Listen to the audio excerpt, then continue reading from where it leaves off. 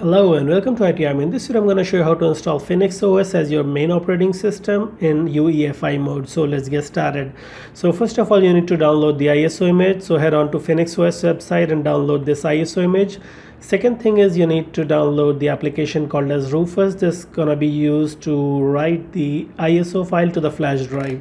So it's a pretty small download. You can click on this link and download.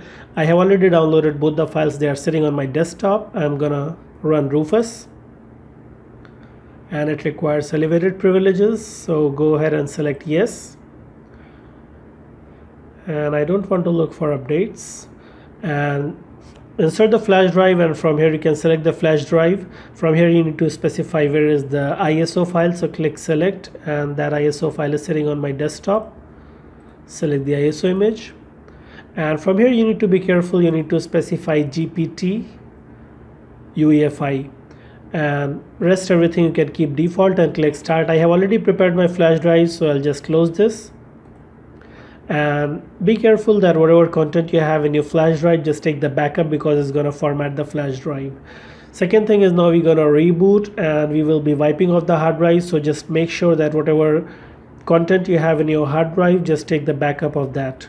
So now I'm going to restart this and we're going to go to the firmware settings to confirm that we are set to UEFI mode. So let's restart. And keep on pressing F12 for you it may be different. Uh, I'll be pressing F2 to go to the setup.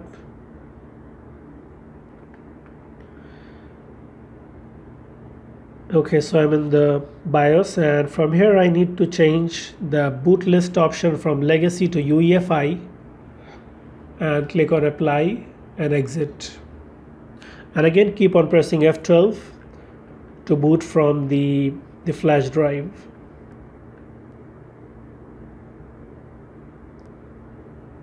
Okay so now I can see that our boot mode is set to UEFI and your flash drive is appearing in the legacy mode also as well as UEFI so just make sure you go under UEFI and select UEFI and uh, this is the flash drive I have inserted. So press enter key. And that's gonna boot from the flash drive. And I want to do the installation so I'll go ahead and select the second option.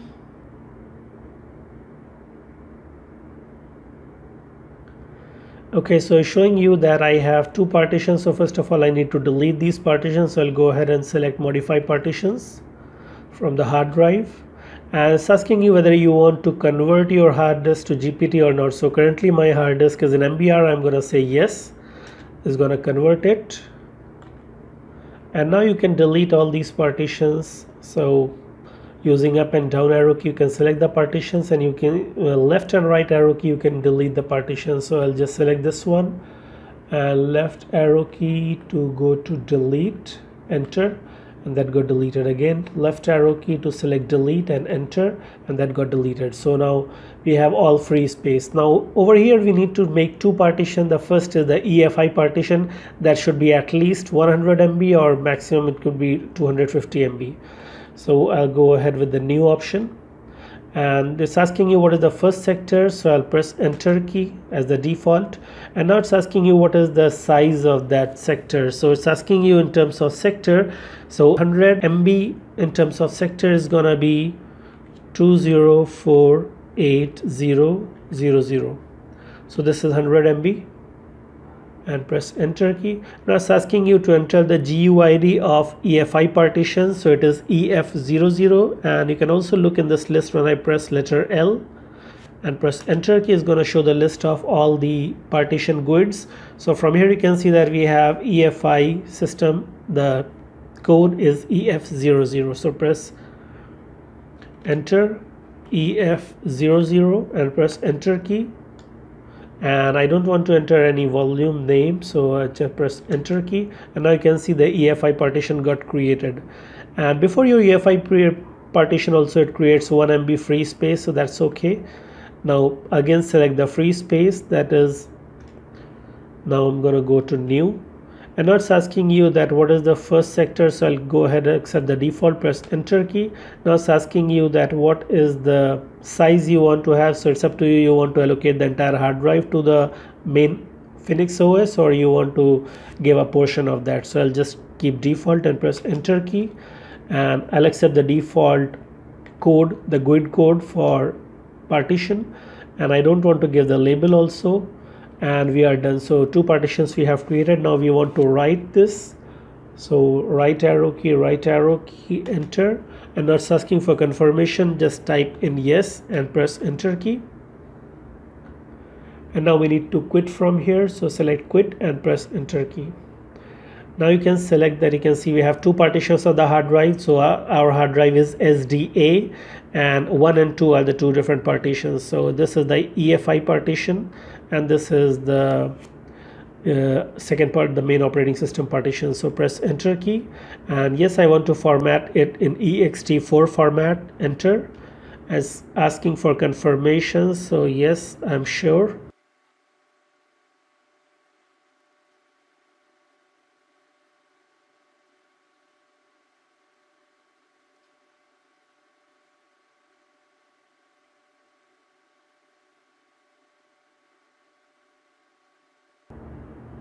okay so here it's asking you whether you want to install the grub2 to EFI so I say yes. It's asking you which partition. So the first partition we created 100 MB that was SDA1 so click on OK and yes I want to format it.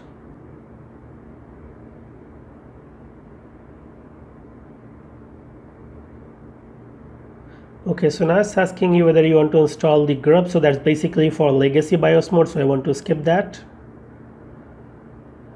and now it's doing the installation of Phoenix OS.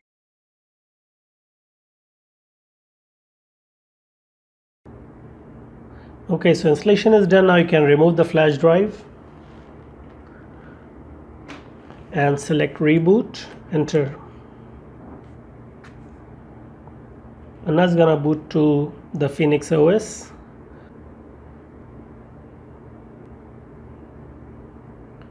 Okay so finally you get grub2 select enter key. And now it's going to set up Phoenix OS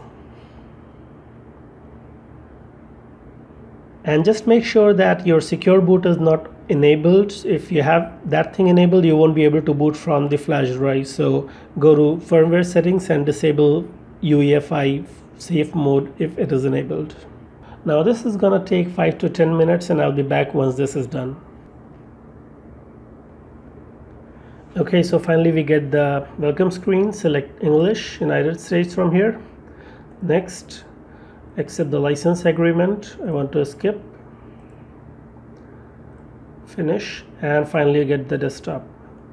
So if I go to file manager you can see your main storage. So it's working perfectly fine.